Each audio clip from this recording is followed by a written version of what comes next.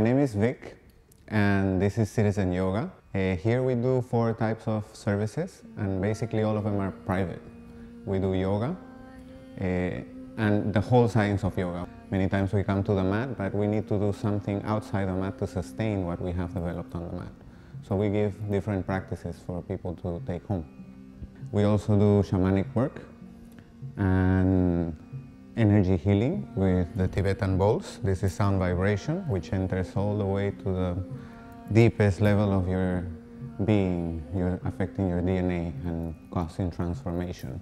Both uh, techniques have the, a similar effect, going very deep inside of you and changing whatever it is, not of your mind, not of your emotions, so things that are more unconscious.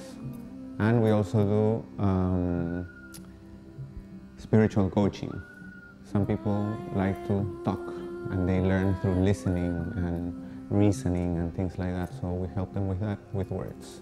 The idea of opening this space came up so that I could work with the people that come study with me um, to do long-term programs so that I can coach them through time so that they can stay on track and don't forget the goals that they are pursuing.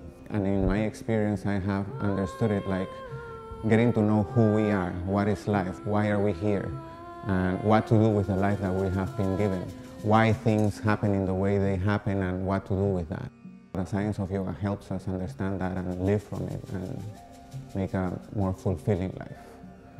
In my understanding, in my heart, and this is what I share with the people that come uh, for class, uh, life is meant to be abundant in all aspects, and that's what yoga provides. So that's what we do.